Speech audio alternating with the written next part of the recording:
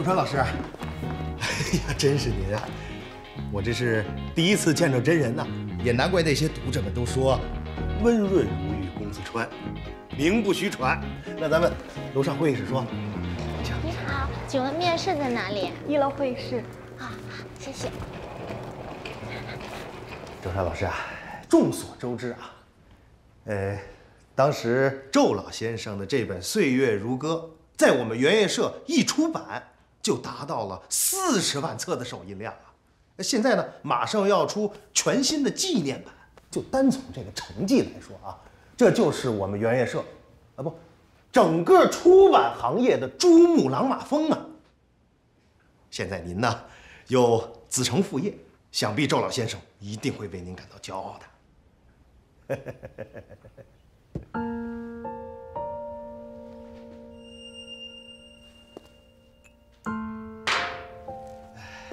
这个当初呢，周老先生的这本《岁月如歌》，在我们圆月社做出这么好的成绩，如果您现在的新书也能签到我们社里来的话，那势必将成为业界的佳话呀！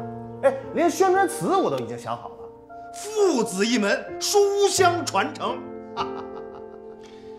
那你要不要先给他打个电话，问问他愿不愿意和我共同完成一段行业佳话那个，要不咱还是先看看合同吧。啊，这个合同我已经拟好了，您先看一下。呃，就这个合同啊，已已经是在我再三的争取下，总算是拿到了。我们圆月社今年最好的数字。不好意思啊，面试已经结束了。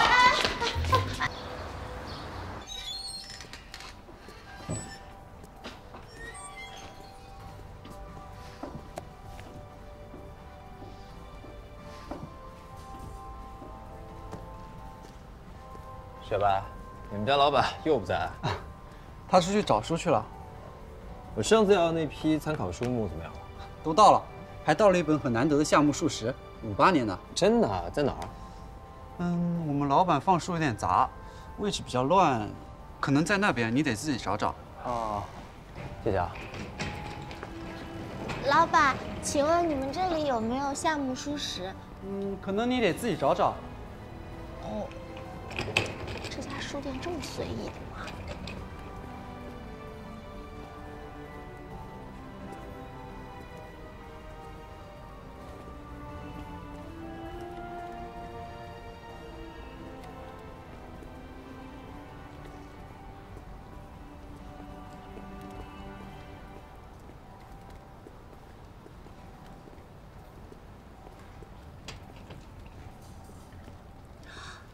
夏目漱石找到了。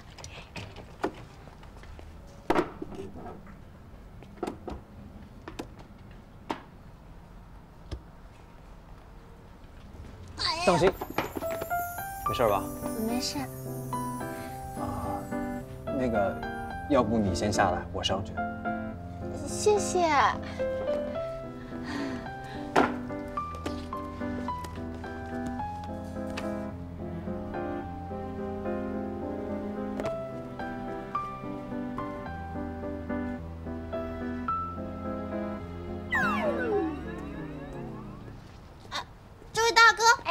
这位大哥，呃，这本书我自己拿就行了，不用太客气。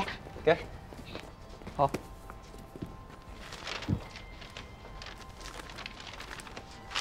书的钱你到时候记我账上就行啊。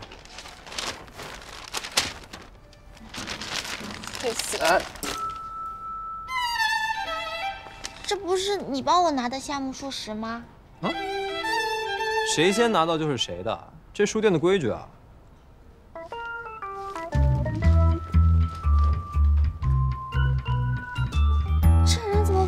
比翻书还快，我们家老板也经常这么说。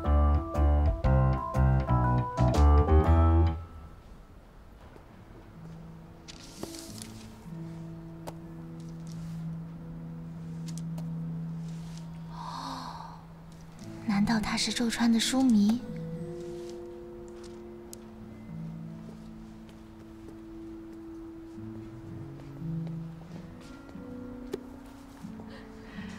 川老师的书，我每次读都会忍不住笑出声来。你们猜猜这次他的新书会说什么内容吗？我好期待呀、我也是，可惜周川老师神龙见首不见尾，要是他可以开签售会就好了，这样我就可以有一本他的签名书，上面写着“给我最忠实的读者”。哎，我呀就想见见他本人，毕竟他的书陪我度过了高三呢。你们看看，哇，怎么样？怎么样？干嘛呢？你不是说你不来吗？要是让你的书迷看到他们男神一样的周川老师像做贼一样躲在这里，有人要失望喽。整理的书去吧。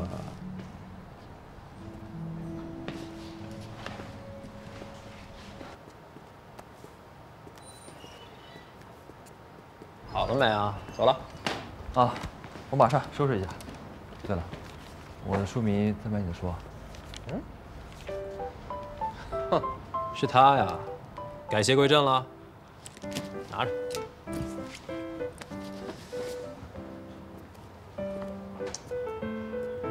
呀，前两天不还把他贬得一无是处的，今天怎么就屁颠屁颠来买了呀？我哪有说一无是处？这锅我可不背。哎，看不出来，你还是父子粉啊？两个一起喜欢？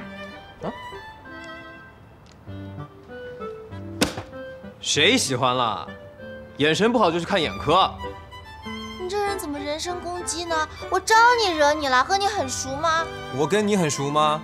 一上来就给我扣周顾轩读者的帽子。周顾轩老师怎么了？你刚才拿的这本《岁月如歌》都不知道加印多少回了，这次还特地推出特别纪念版，这可是经典中的经典。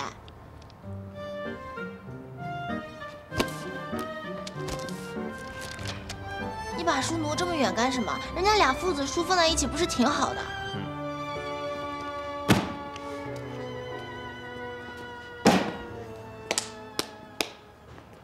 哼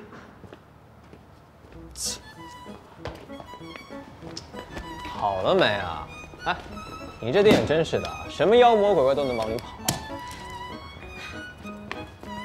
我同意，确实什么妖魔鬼怪都有。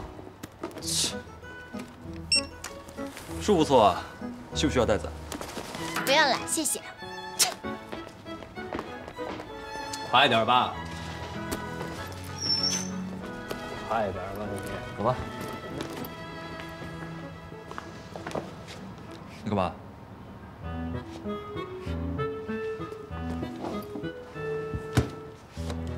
幼稚。